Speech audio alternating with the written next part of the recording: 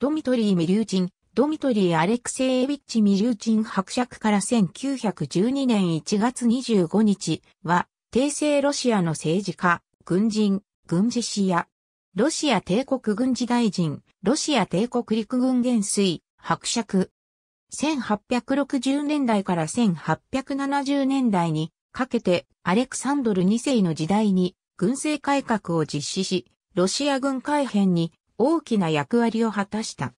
濃度解放令、ゼムストボ設立などの大改革の主要な立案者として知られるニコライ・ミリューチンは弟。1816年6月28日モスクワに生まれる。1833年モスクワ大学を経て、1836年、ニコライ軍事アカデミー、ニコラスミリタリーアカデミーを卒業する。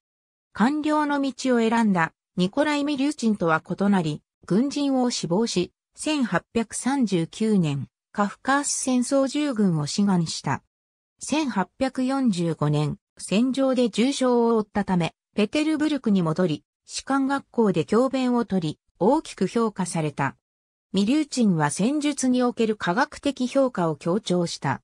また、最初に包括的戦術論を執筆し、これにより1847年、デミドフ W、デミラブ賞を受賞した。ミリューチンは、アレクサンドル・スボーロフ大元帥に理想の軍司令官を見出していた。また、イタリア戦役の活躍をスボーロフの軍歴における頂点と評価した。1799年イタリア戦役について、自らの見解をまとめ、1852年から翌1853年にかけて前後間の軍事評論を発表した。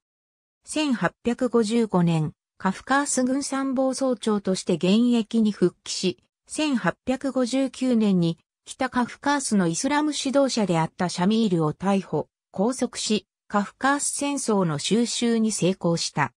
ミリューチンは、イタリア戦役分析の過程で得た軍事的知識を利用して、クリミア戦争敗因の分析と、やや急進的な軍政改革に関する骨子を発表した。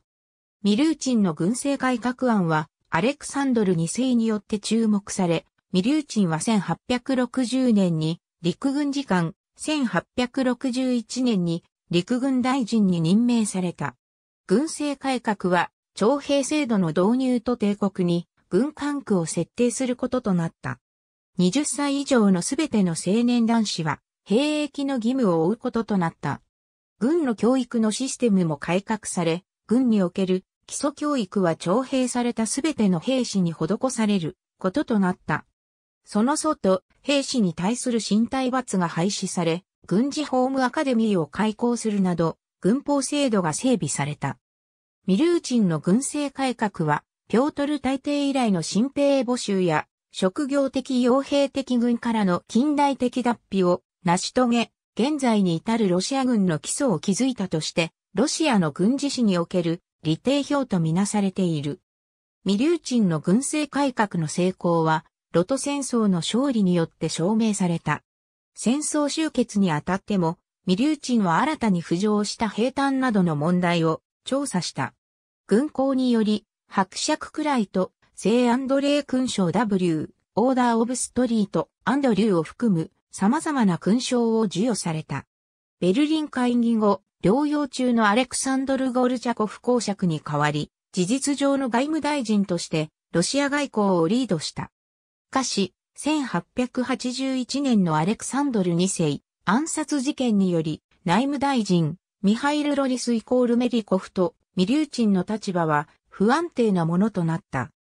新帝アレクサンドル3世の支府で、保守主義者のコンスタンチン・ポベドノス政府が起草した直令により、諸改革が頓挫したためミリューチンとロリスイコールメイリコフは直ちに辞職した。